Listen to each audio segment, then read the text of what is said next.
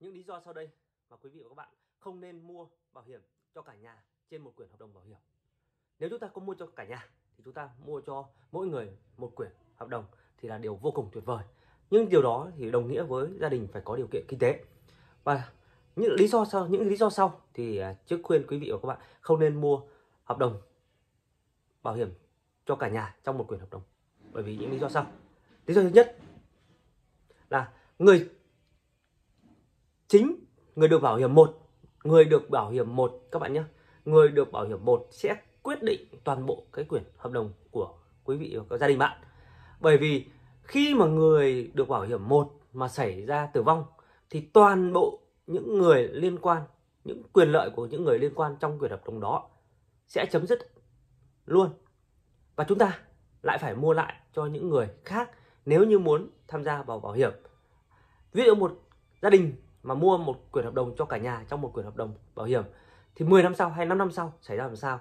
Thì có nghĩa là cái người trụ cột mà xảy ra tử vong, thì toàn bộ những người liên quan sẽ chấm dứt quyền lợi ở trong cái quyển hợp đồng bảo hiểm đó. Và chúng ta muốn mua lại thì chúng ta chúng ta muốn hoạt được bảo hiểm nữa thì chúng ta phải mua lại. Và lúc này tuổi cao lên và phí nó sẽ cao lên. Và có thể là rủi ro dẫn đến các người kia cũng sẽ không mua được bảo hiểm nữa. Chính vì đó mà lý do thứ nhất để khuyên các bạn không nên tham gia bảo hiểm vì lý do đó. Lý do thứ hai là chúng ta không nên chung trong một nhà, trong một quyển hợp đồng bảo hiểm nữa, là có những gia đình, có những gia đình, quý vị các bạn nhé, chỉ tài chính chỉ khoảng 15 20 triệu thôi. Có nghĩa là dồn tất cả tiền để mua một quyển hợp đồng bảo hiểm. Thế nhưng mà bảo hiểm nhân thọ nó phát huy mạnh mẽ nhất là bán cho người trụ cột.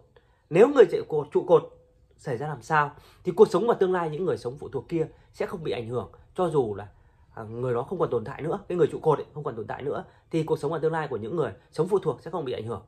Thế nhưng mà chúng ta lại cấu, có nghĩa là 15 hay 20 triệu đó lại cấu chia cho ba người còn lại, hai đứa con và người vợ, chẳng hạn như vậy, thì cái quyền, cái cái tác dụng cho cái người trụ cột nó còn rất là ít.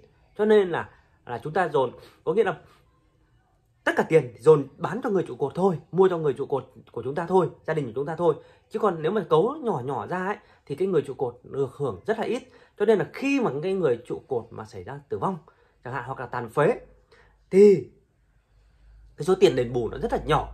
Nó không đáp ứng được kỳ vọng của người tham gia bảo hiểm.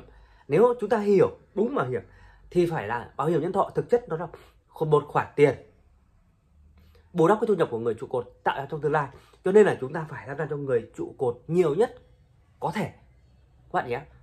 Hy vọng các bạn sẽ hiểu hơn về bảo hiểm. Hoặc bạn nào không hiểu thì hãy điện cho chức. Cảm ơn quý vị và các bạn đã theo dõi video.